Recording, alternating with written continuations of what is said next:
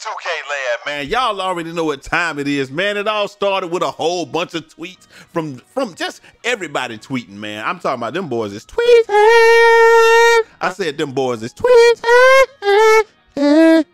hey, lots of tweets to get through today, man. All that stuff. Mike's tweeting.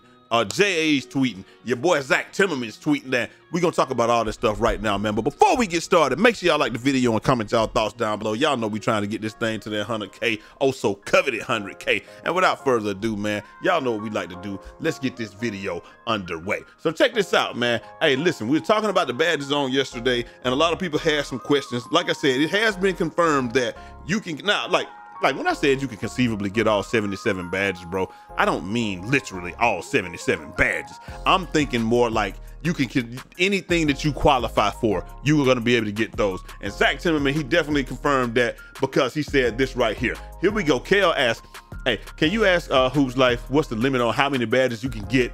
Uh, you can put in each category. I don't know if it's been announced or spoken on. And he says, remove 23 from your mind. Categories are gone. What attributes you qualify for, you can go get. And so that's what he's telling us, man. He's saying like whatever you qualify for. And so there are some obviously you can't get the, the you know, like uh, you can't get back down Punisher I don't think you can make a bill that could do that. But what I'm saying is, if you could conceivably make a bill that could get all 77 badges, you could get all 77 badges. We know you can't make a bill that's like that, but I'm saying stuff like that for for example and stuff like that, man. So if you can get a ton of badges, like like a lot of people like, man, you know, they be like, I can get a hundred badges, or you can get all these badges and stuff like that. That's fine. Yes, you will get them. Yes, they will be bronze immediately. He did say that. He said, listen, you're gonna have all the badges. They will be bronze immediately. Every badge that you qualify for will be immediately bronze. After that, it's up to you to choose what you can do because you got to get the badges to fire off in order to get them going up, man. But hey, we're going to talk, like I said, we're going to talk more about that, man. Hey, Mike was talking about one of the badges, the whistle badge. Somebody says, hey, hey, Mike, um, with, thing, with things like whistle, the whistle badge being added, does that determine the rate of foul calls in the rec? Um, is it rec- is is it recommended thoughts or files Again, you're gonna have these badges right from the beginning. But he says whistle increases both frequency of shooting fouls and uh, being called, and also improves the ability to finish and ones. It sounds scary, but shooting foul frequency is generally pretty low and uh, and properly and probably most useful in my career and all those games. Man, we're gonna turn this dark, bro, because my eyes suck right now. But yo, it is what it is. So Mike right there, he's just telling us, telling us right off the bat, you know, how how that goes. Also, he came back and said, listen, Somebody was asking, hey, Beluba, do you have to score a ton to have high teammate grade this year? And Mike said, nope, you can probably get an A or close without scoring at all. And then, hey, listen up. What's the name said? This is one say that's an L. L. That's an L. Reward good players who play naturally and win. Uh, uh oh, that's an L. Reward good players playing playing a teammate grade, playing for a teammate grade. Um, makes people play unnaturally and go back and, and, you know go back. Listen, man, I don't, I don't, know. I mean, if you plan if you plan to get a good teammate grade, I feel like you plan to win, or the games you feel like you plan to win. We don't know what the criteria are as far as getting those, but hey. It is what it is. That's just what Mike's talking about it. Also, somebody was talking about the layup meter. He says layup meter off boost the green window size. Also, we're talking about like, you know, they're, they're asking, hey, what do you feel like it's one of those things like like uh should we have very should it be difficult to to make layups and stuff like that if you're wide open. I'm like, bro, if he's wide open, he make the layup. I, Anonymous said this yesterday. I feel like if you're wide open and you go for a layup, you should almost not even be able to miss that joint. It shouldn't be like 2K21 uh, uh, current gen or whatever. If you going in there, I mean next gen, if you're going in there wide open, shooting the layup, nobody cares if you make it. Now, if you wanted to get funky on them boys and try to time a dunk and go in there and do some crazy stuff, yeah, if you miss it, you should get penalized. It is what it is. That boy Wolf is tweeting. Wolf is on the list right now, boy. That man said right stick ripper. When in a defensive stance, flicks flick the right stick toward the ball, higher chance of uh, of the steal if the right stick flick is correct. And it just says for all the defenders out there, if you want to separate yourself from the rest, utilize this badge. I love this one. And I love it too, man, because you're gonna, it's like I said, we're just putting some IQ in the game, man. This game is look like it looks like it's going away from just the casual fest that a lot of people keep saying it is, uh, and all of that good stuff. Like if you're a casual person that plays and you don't really care and you're not using a whole lot of IQ and you want to keep just pressing the button, pressing the button, pressing the button and hoping you get something, you might will get a steal, but you're not going to get as many as I will if I'm flicking the stick toward the right thing. So, yo, that's dope, man. Hey, look, uh, Zach Timmerman once again says, uh, as uh, so somebody says, yes, in the courtside report posted the builder and the badges. Imagines uh, image the image shows clamps uh, requiring multiple gates for for it to be unlocked. And so uh, in NBA 2K24, the builder, there are many badges that will that will have uh, two to three, two to three, and gates, meaning that multiple thresholds. Well, whatever, man. He just says, as some have noted, many badges have just have just physical gates, and some have both physical and skill attribute gates.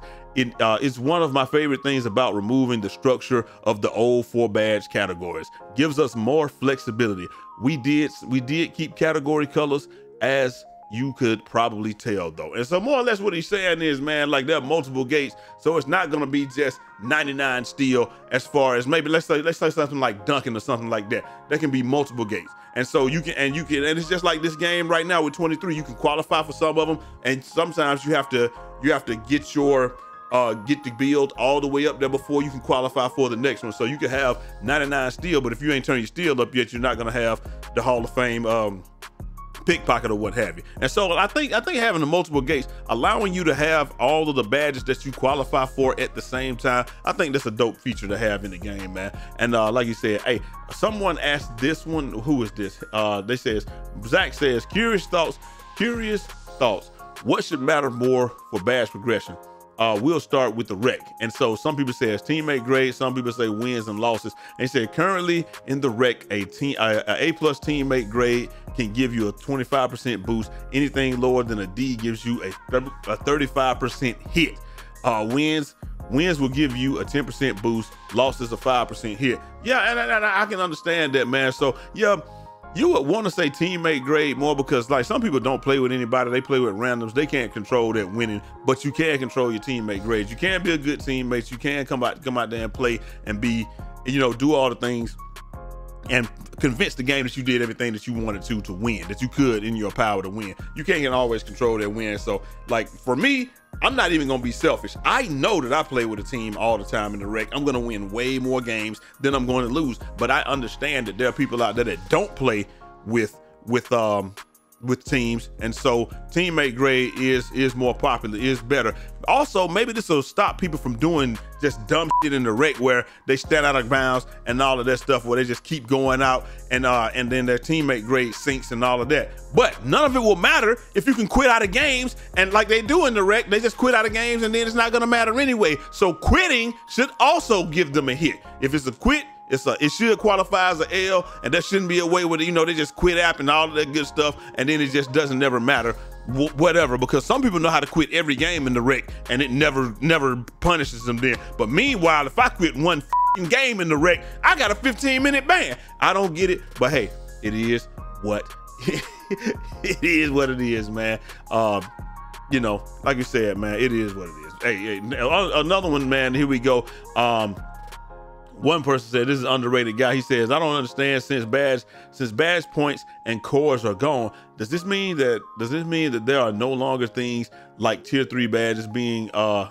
being gate kept until we've progressed in it, you know what I'm saying? Until you get a certain number of points or whatever. He said the only gates that your only gates are your attributes and your size. Any badges you qualify for, given that uh given that you have the potential to earn. So as long as you can get the badge again, as long as you can get it, you're gonna be good to go. Also, he says, hey, high teammate grades are harder in park and uh and things, and this has been accounted for in the in the badge progression system.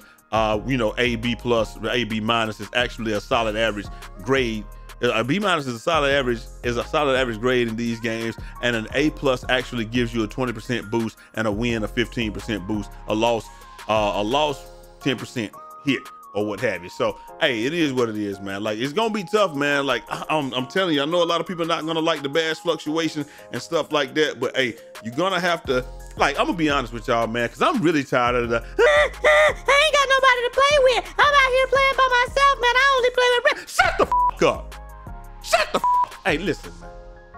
At some point, if the only people that you have to play with is you, then everybody ain't ass, bro your ass. And I understand that we got some of the some of my guys that are late night, uh, and we excluding y'all late night players or you know people that play in the middle of the day. Some guys work in the middle of the day and they work at night, and so the only time to play is when not a lot of people are on. It is going to be unfortunate for them it sucks. But I'm sure you can find somebody to play with at those times because the people that you're playing against at those times, eventually somebody's gonna pick you up and y'all gonna have to squad up and get it together. But with wins and losses actually meaning something, people going to have to like we're gonna have to make adjustments, man. It is unfortunate.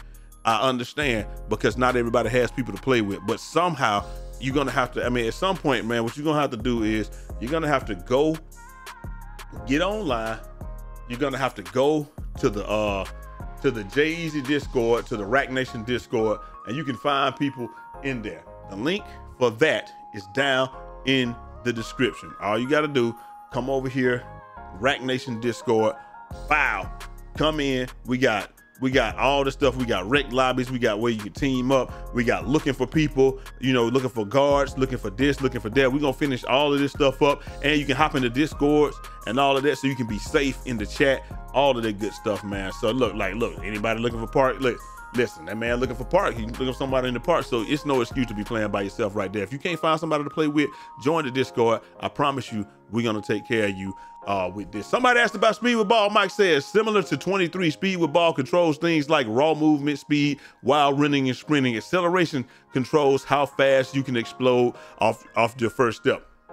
I think that's cool. I think it was about the same thing, man. A lot of people knew that was the same same uh, last year, and it just uh, it just was what it was, man. We got two more things for y'all before we get up out of here, man. Spot Finder. This is a badge that I wanted to know about because I wanted to know. A new off-ball badge which utilizes which utilizes the get open mechanic. To use the get open mechanic, uh, tap the right trigger or the right, you know, R2 or the right trigger when you're when you're ready to cut. This will give you a small speed boost and increase this increase the chances of uh, the shot going in after a successful catch. Be mindful when using the get over mechanic, but be mindful when you using get open mechanic because it will cost you adrenaline boost. A lot of people not gonna like that because we're going back to where we were last year. Like, like this is tapping it though. You can hold it and it's not gonna take it, but if you tap it, it's gonna take it. And it says it's a it's a versa, it is versatile and can be used in so many different situations. Corners, wings, centers, roll into the basket, and sharpshooters moving around the three-point line to utilize the get over mechanic uh, get open mechanic. Excited for y'all to try this. And then he came back and doubled down and says, for clarification, for clarity, you only lose an adrenaline bar when you perform a get open move. That means tapping the right, you know, the right, uh, the right trigger. Sprinting around should uh, spinning around will while holding the R2 will not cost you an adrenaline bar. So just like I said, man, a lot of people think that you know they was thinking about that, all that running around and stuff though, man. I, I really wish that they would have stuck to that because I want you to be able to come get the ball or whatever, but you know all this stuff where people just running around and just uh, just messing up the offense and stuff, bro. It's so tough to do that, bro. It, it's crazy, but hey, it is what it is. We gonna keep playing the game. We gonna understand it. I just don't want people to give up on the system before we even try. Let's see what it is, see what the flaws are, and all of that. And last but not least, Zach Timmerman says this. Spent some good time trying to be as descriptive as possible for the archetype names in in this uh, this year. More effort will more effort went into calling out uh, calling out even serviceable shooters. That said, my new favorite arch archetype is three shot hunter, three point shot hunter.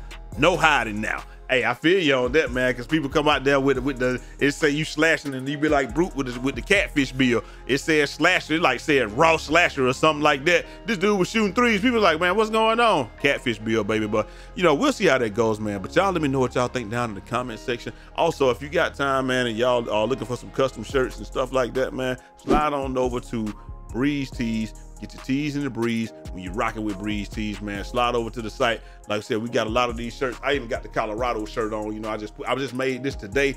But uh, you can make your own custom stuff, all that stuff, man. Get something for your girl. Get something for you know, make your own your own custom shirt with this. You know, put that you can put that young blessed up there. Anything you want on these, man. Uh, hats, all that stuff, man. Just take your image, take your image, choose your image, put uh, what if you're a Steelers fan or something like that? Bow, boom, and you're done. And we'll take care of it for you, man. But let me know what y'all think down in the comment section. I'm gonna holler at y'all next time. Until next time, please like the video, man. If y'all don't like the video, it doesn't go anywhere. If you literally watching the video and not liking it, it it's you might as well not even watch the video. Right, really. I'm, I'm telling you, that's how that's how YouTube is working right now. Please hit the like button, and I'm holler at y'all next time. Till next time. Peace. Godspeed. Godspeed.